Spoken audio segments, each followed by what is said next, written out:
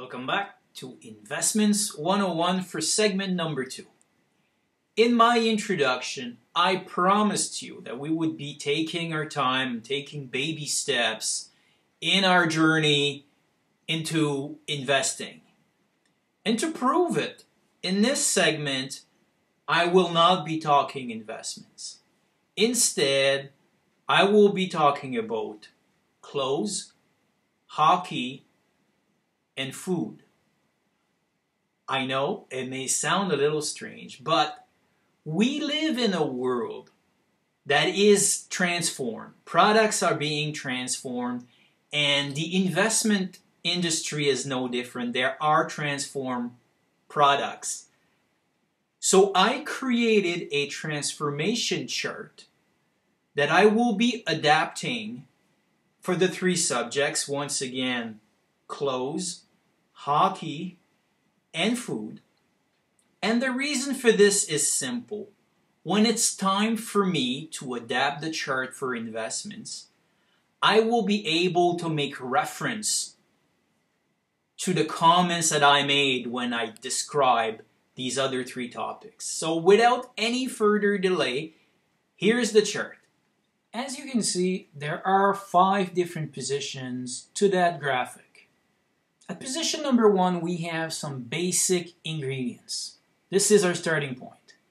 At position number two, some human intervention takes place where the basic ingredients are transformed into something more useful that I call our refined options.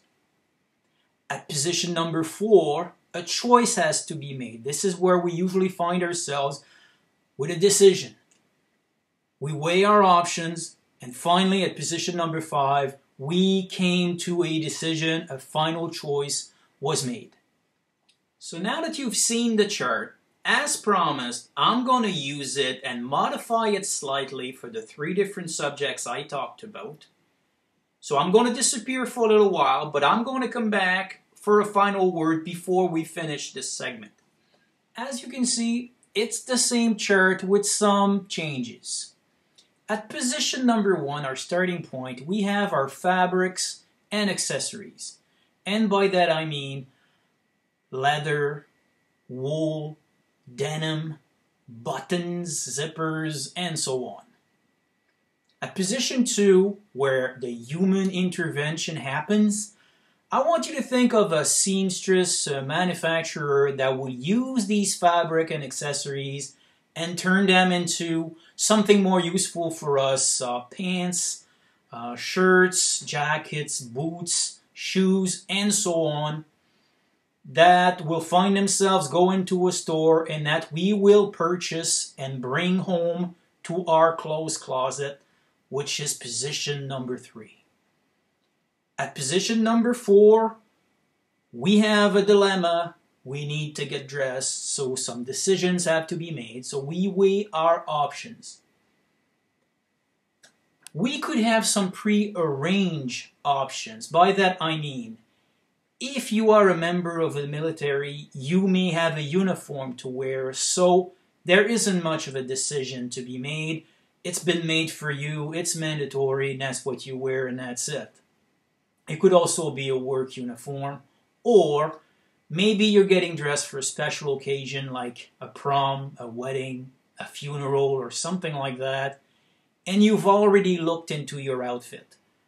So once again, Easy decision, you've already given a thought, you just get dressed. On the other hand, it could be made on the spot. It's the weekend, you look outside, check the weather, and you decide what to wear on the spot. So that is the chart adapted for clothes. Alright, now time to talk hockey. As you can see, same chart with some changes. Our basic ingredients this time around are hockey players from around the world.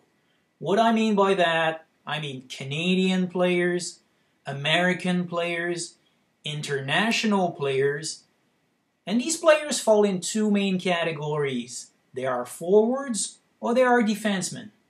So these are our basic ingredients. At position number two, where the human intervention happens, I want you to picture the team's general manager. In this case, I chose the Toronto Maple Leafs. The GM's job is to build a team, and for this, there is a draft process. There are trades, there are agents to deal with, there are contracts to be signed. And when that is all done, the team has a bunch of hockey players under contract. At position number three, we find the best of this bunch. So the best hockey players are made available to the coach. They sit on the bench. These guys are the options the coach have to use. Position number four, we have the coach. And that's his job to decide who's going to go on the ice. The prearranged options in this case would be the lines. Ahead of time, the coach and the players made sure they were on the same page and everyone knows who belongs to the first line, the second line, the third line. So if you are familiar with hockey, you know exactly what I'm talking about. All the coach has to say during a game is first line, and these guys just stand up and jump on the ice. They know it's their turn. You, you also got power play number one and power play number two. So these would be your prearranged uh, decisions. The ones made on the spot would happen if for some reason, let's say a player was to get injured, then the coach would have to shuffle his lines around. So that's when he would have to step in and take control on the spot depending on the situation. So that is the chart adapted for hockey. Alright, stay with me. This is the third and last one. I said we would be talking about food. It's actually a Chinese restaurant.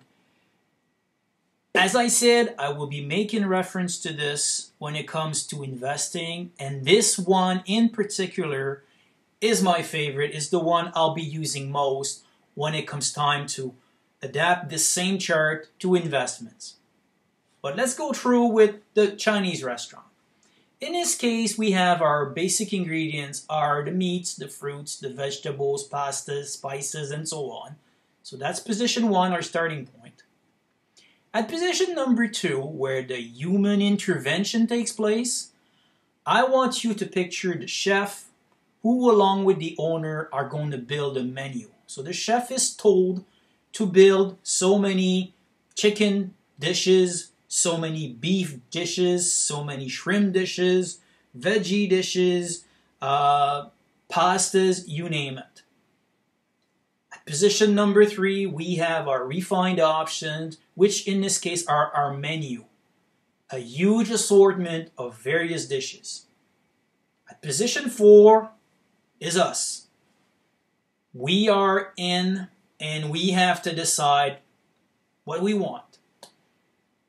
We have some prearranged options, and that is the reason for the Chinese restaurant is because this is where you would find the the prearranged uh, uh, options I'm referring to, the combo plates.